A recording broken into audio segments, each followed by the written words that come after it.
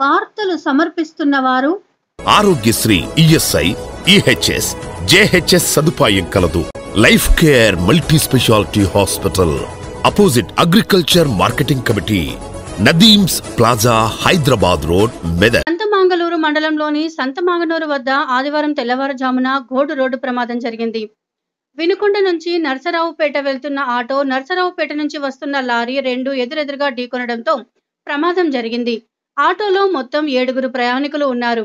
ఈ ప్రమాదంలో ఇద్దరు మహిళలు ఒక బాలుడు అక్కడికక్కడే మృతి చెందగా మరొకరు నర్సరావుపేట ప్రభుత్వ ఆసుపత్రిలో చికిత్స పొందుతూ మరణించారు.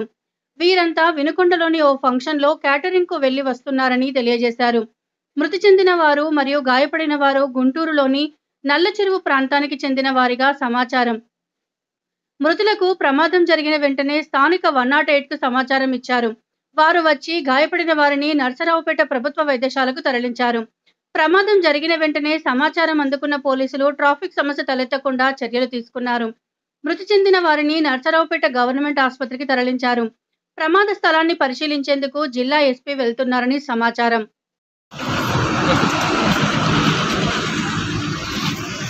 నమస్కారం. ఈరోజు తెల్లవారుజామున నాలుగున్నర గంటకి గాలిపొడి యాక్సిడెంట్ జరిగింది. ఈ గుంటూరు కర్నూలు హైవే మీద ఒక లారీ అండ్ ఒక ఆటో హెడ్ ఆన్ కొలిజన్ అయింది. ఆ ఆటోలో ప్రయాణం చేస్తున్న ఏడుగురు మందిలో ఐదుగురు చనిపోయారు. ఇద్దరు నర్సరావుపేట హాస్పిటల్లో అడ్మిటెడ్ ఉన్నారు. వాళ్ళకి సరైన మెడికల్ ట్రీట్మెంట్ ఇవ్వడం జరుగుతుంది. ఈ యాక్సిడెంట్ మార్నింగ్ ఫోర్ థర్టీ ఏఎంకి జరిగింది. దాంట్లో ఈ రోడ్ మీద ఒక గుంత ఉంటే ఆ గుంత అవాయిడ్ చేయడానికి లారీ అతను సడన్గా రైట్కి తీసుకుంటే ఆపోజిట్ డైరెక్షన్ నుంచి వస్తున్న ఆటో ఆ, దాంతో హెడ్ ఆన్ కొలిజన్ అయింది. సో ఆ ఆటోలో సెవెన్ మెంబర్స్ ట్రావెల్ చేస్తుంటే దాంట్లో ఐదుగురు మూడు ముగ్గురు స్పాట్లోనే చనిపోయారు. తర్వాత హాస్పిటల్కి తీసుకెళ్తుండగా ఇద్దరు చనిపోవడం జరిగింది. ఇంకా ఇద్దరు హాస్పిటల్లో ట్రీట్మెంట్ పొందుతున్నారు.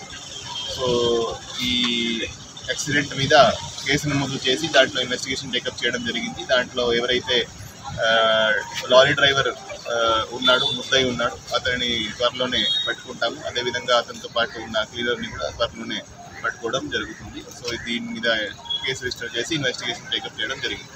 థ్యాంక్ యూ సార్ ఈ యాక్సిడెంట్ మీరు నో యాక్సిడెంట్ డే ప్రతి సాటర్డే జరుగుతుంది.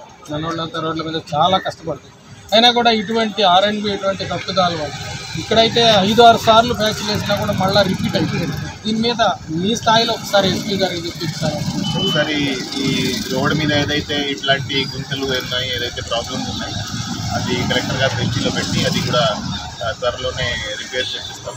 సో మళ్ళీ ఇట్లాంటి యాక్సిడెంట్ జరగకుండా టెక్స్ట్